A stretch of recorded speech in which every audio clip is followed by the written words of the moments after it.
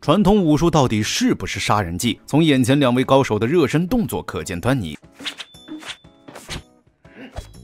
看似简单的金鸡斗灵，却包含了对力量的理解和运用。这种高手即使所谓的上擂台打实战不行，但是也有武术的一套逻辑。导演徐浩峰的武侠片，你看不到飞来飞去的轻功，也没有什么剑气、内气之类的玄学。可但凡对传统武术有过点了解，就知道这才是最真实的江湖。高手交战不是街头打架，杀招只在交错的一瞬间。没有身体接触，都是一招制敌。而今天要讲的电影《倭寇的踪迹》就是徐浩峰执导的首部作品，它被称为武术纪录片，却至今都鲜为人知。倭寇的踪迹的故事是随着戚继光的去世展开的。明朝建立了完备严密的文官体系，为防止唐朝地方军翻乱的重演，武官一直备受压抑。建军扫荡东部沿海倭寇，建藩威慑蒙古部族，令戚继对近乎四十万的军队有了控制权，成为本朝唯一有造反能力的武官。他被贬为庶民后，便匆匆老死。那日，神宗皇帝穿着镶有暗红色绣纹的黑色龙袍，在书房文华殿得知了他的死讯，未做任何批示。十五日后，地方官员的正式报本呈上礼部，礼部例行公事般的写下十五行道文，下发戚继光家族，对其一生功绩没有提及。这十五行平淡的词句在福建、浙江广为流传，令戚继光旧部唏嘘不已。而我们的男主梁衡禄是戚继光的贴身侍卫，在普陀山中养老的于将军气不过，特意派梁衡禄扮作倭寇来搅乱南京，目的就是引起朝廷的反思，让他们知道戚继光是多么的伟大。没有戚继光，他们连一个倭寇都处理不了。好了，我们正式进入电影。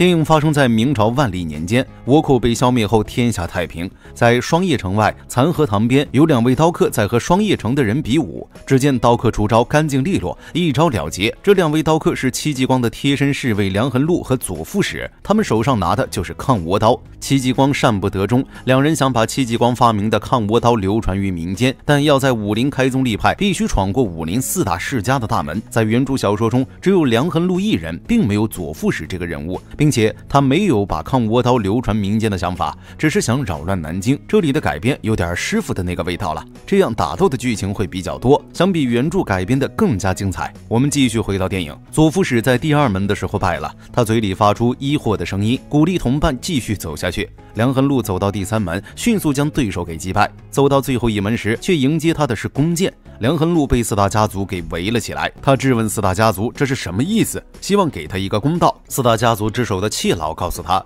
你的刀行是邪道，你不配要公道。刀砸断，人可以走。”梁衡路不从，拿着刀逃走了。左副使却被抓了回去，戚老对他严刑拷打。他其实看出两人是戚家军的人，但他看不起军营兵技，觉得他不能和世家武馆相比，但又怕四大家族被打败，害怕丢人，只好说他们手中的刀是倭刀，借此来赶跑他们。四大家为什么这么有权威？在原著小说是有记载的。从春秋战国时代起，北方的破落权贵便将南京作为避难归属，整族的迁来。为了长途跋涉的安全，每一个家族蓄养有武士团。这些武士在南京繁衍，一代一代的为一代一代的主子服务。武士团与房产、地产一样，是祖辈人留下的遗产。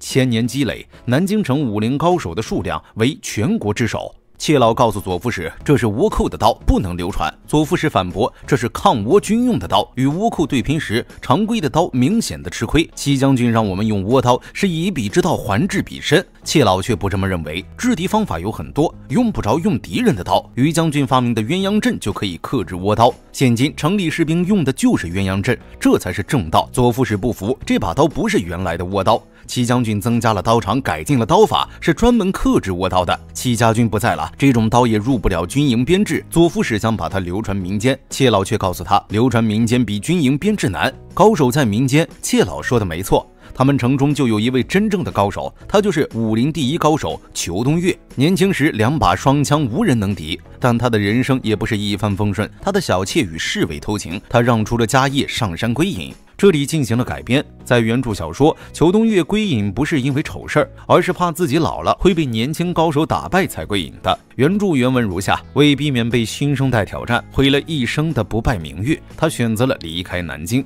归隐在三十里外的一座野山。他的体能衰弱到武士的底线，而他的意识依然敏锐，目睹了南京城中新生代武士的身手，愤愤不平地想到，只要自己再年轻五年，就可以将他们统统击败。然而，这只是个推理。所以他只能遗憾万千地待在野山之中。野山中还有许多隐居者，虽然人与人从不交往，但每个人均知道自己是和一大群人共同存在。渺无人烟的野山，卧虎藏龙。我们继续回到电影，四大家进行比武，谁能赢就可以去捉拿梁恒禄。而梁恒禄逃到了一家酒馆，这个酒馆来了许多波西米亚舞女，但他来这儿一不是为了喝酒，二不为看舞，他就是来测试波西米亚舞女的体力，看他们这种人有没有入侵大明的能力。三名舞女过来叫赛兰和他们一起去看比武，赛兰也想去，但梁恒禄给的太多了，他只能留下来跳舞。四大家族的比武极其的滑稽，一直是。闪躲也不进攻，舞女们都笑了出来。一个侍卫嘲讽他们：“你们懂什么？他们是在模拟马战，两马交手讲究的是一击必杀。”这时，海盗防军走了过来。带头的大人对四大家说：“城里进了倭寇，怎么不说一声？”其他三大家本想告诉他事情的真相，但大人让他们拍一下自己的盔甲，对四大家说：“他快五十岁了，就想把身上的纸盔甲变成铁盔甲。”大人这话也是透露了当时明朝军队的现状。为防止兵变，明朝的军队隶属于地方，由各省总督、巡抚控制，而军备也由文官负责。军队两百年来一直受到苛刻待遇，不但没有了造反能力，甚至不能正常发展。军备差得令人瞠目结舌，士兵的铠甲上只有几片屈指可数的劣质铁片，大部分是硬纸浆所塑。刘凯穿了十二年的纸浆铠甲，此生最大的愿望就是能得到件真铠甲。接受任务时，海盗房官员笑嘻嘻地嘱咐他。你要能捉到那倭寇，我就批你一套全铁的，保证跟京城的禁卫军一样，又薄又亮。谢老明白了他的意思，谎称梁恒禄就是倭寇，这样下来，大人抓到他就能立功了。戚老的本意是想靠着海防道让梁恒禄断了将抗倭刀流传民间的念想。舞女赛兰不想跳了，想去看比武。梁恒禄说想看武功，这里有。他把衣货交给了赛兰，这是军营操练的口号，外人不知道。接着他让赛兰继续跳，赛兰却想做点别的事情。这时，四大家的人围住了酒馆。其他的舞女告诉赛兰，里面的那个客人是倭寇。梁恒禄将赛兰给带进屋，将如响交给了他。不看招式，按照敌人兵器碰上木棍的声音出击，便是如响。敌人的第二下还没发动，你的棍子就到了，可以达到一击必杀。他要利用赛兰将四大家的人给吸引住，他好去城内救左副使。四大家族的人开始挑战，赛兰用梁恒禄教他的方法，将四大家的高手给打晕了过去。就这样，四大家的人根本破不了他的如想。梁恒禄这边遇上了海防道的人，他们用鸳鸯阵完美克制了梁恒禄的抗倭刀，击败了他。大家一定好奇鸳鸯阵是什么东西，竟然能击败连四大家族都奈何不了的梁恒禄。这里详细给大家说说鸳鸯阵。中国古代阵法之一，中国明代军队抗击倭寇时采用的一种疏散的战斗队形，由戚继光创立。此阵主要是为了对付倭寇而设置，行动方便，长短兼具，攻守兼备。鸳鸯阵阵型以十一人为一队，最前为队长。次二人一支长排，一支藤排。长排手执长盾牌，遮挡倭寇的箭矢、长枪；藤牌手执轻便的藤盾牌，并带有标枪、腰刀。长牌手和藤牌手主要掩护后队前进。藤牌手除了掩护，还可以与敌近战，所以就算梁恒禄武功再高，也休想破阵。刘大人要绑了他时，却被梁恒禄给反制了。他命令海防道和他一起跳入河中，围着双叶城一直游下去。裘东岳这边也知道了倭寇的事，他用毛笔把胡子染黑，想要下山。他上山的时候遇见了一位和小妾长得很像的女人，他下山前想去看一下她，但女人已经不再是以前漂亮的样子。裘东岳给了女人二两银子，女人明白了他的意思，把床上的丈夫赶走，把裘东岳拉了进来。他知道这个钱是城里一等歌姬的价钱，但裘东岳却没动。女人对裘东岳说：“这是你该得的。”裘东岳回答：“我是第一高手，只想做善事。”出门后，裘东岳深吸一口气，又给了他男人一两银子。男人赶紧感谢他。裘东岳边走边挥舞枪法中拳法。城中，赛兰击晕了四大家族的很多高手。一位家主对妾老说：“四大家再有人受伤，四大门的名声可就毁了。”另一个家主回答：“我派人封了河两岸，老百姓看不到。”七老听到这句话笑了，让人继续上。这时，裘东岳来到了这里，七老这下紧张了。到了白天，四大家的人还没破解，舞女直呼他们太笨了，为什么不从后面包抄过去？一个家主告诉舞女：“我们是名门正派，讲究正面进攻。”裘东岳不愧是第一高手，他看出了赛兰所用的招式是如影如响中的如响，如影如响是戚家军的不传之秘。皇上派御林军去学，也是像现在这样倒在了门外。所以才去学了于家军的鸳鸯阵。裘东岳是使枪的高手，枪法里也有如影如响。裘东岳对大家说：“如果我们要抓到倭寇真的是戚家军的人，他们可就闹笑话了。”戚老却还在辩解，甚至说出了倭寇学会了棍法刀的谎言。戚老请裘东岳出手，裘东岳问他们：“我的胡须是不是黑的有点过分了？”接着他走向了船边，他解开双枪，在船外思考应敌之策。他计算出了敌人的头部位置，只要自己把双枪扔出去，他必死无疑。但裘东岳想着自己是第一高手，要用真正的功夫去破解。他在船外试起了枪法，想着如何破招，但他还是老了，没有反应过来，倒在了地上。这里不是说裘东岳破不了如影如响，而是他不服老，有许多种入门的方式都可以一击毙命，但他最后就是选择以最普通的方式破招，可惜还是老了，没反应过来。原著原文如下：他持着右手枪，趁机钻入，但猎户的女儿令崔东岳产生了久违的激情。他悲剧般的想试试自己的反应能力是否有年轻时代的敏捷，所以他走近，用枪拨了一下棍头。在崔东岳的意识中，他已经避开了棍尾，然而他的身体只移动了半寸。当他脖梗一歪，樱木棍般直挺挺的倒地后。躺在甲板上抽搐两腿的他，想到衣兜中还有四十多张银票、七块银锭，难受的流下眼泪，后悔一个时辰前没有都送给猎户的女儿。谢老让人把裘东月抬回家，裘东月却不回自己家，谢老只好将他带回自己家。谢老对他说：“你不该回来。”你心里明白，我容不下你。他将裘东月的丑事给讲了一遍，气得裘东月吐出了血。裘东月上山后，谢老成了双叶城第一高手。他本可以杀了小妾和侍卫，吞了裘东月的家业，却没有动手，为的就是让裘东月没脸回来。裘东月告诉谢老，自己缓过来会走远走。裘东月忽然制服了谢老，他让谢老为自己办件事，把这三块金子交给山上的女人。谢老拿到金子后，赶紧远离他。他再次问裘东月为什么不杀小妾和侍卫。裘东月回答：“我老了。”两衡禄这边带着海防道游了一夜，他是在检测海防道的水性，从而就知道了这座城的水上防御能力。梁衡禄从刘大人嘴里问出了左副使的下落，但为了不暴露自己的行踪，他要把几人给埋进草中。刘大人给梁衡禄抱怨自己的纸盔甲，梁衡禄却对他说：“指甲比铁甲高级，特制的指甲不怕水泡，弓箭都射不透。”但刘大人要的是那份名誉，他就是喜欢铁的。戚老回到家中，拿出了常年未用的兵器，他现在是双叶城第一高手，倭寇的事该了结了。他走到桥边，挥动着武器，梁衡禄顺利将左副使给救了下来。接下来，他准备在城中放火，让四大家奔波营救，消耗他们的体力，这样就有了胜机。谢老拿着武器来到船边，却看到了三个舞女给大家跳舞。四大家的人眼睛就没离开过舞女的视线，真是些道貌岸然的人。小妾佘小姐找到了裘东岳，要把他给杀了。佘小姐告诉裘东岳，被宽恕比惩罚更难受，当初你就应该杀了我俩。佘小姐要下手时，梁恒禄来到了这里，梁恒禄将她给制服，把自己的事告诉了他。佘小姐早就看不惯四大家，她愿意帮助梁恒禄。梁恒禄在门上布置了两个灯笼，接着把如影如响的如影交给了他。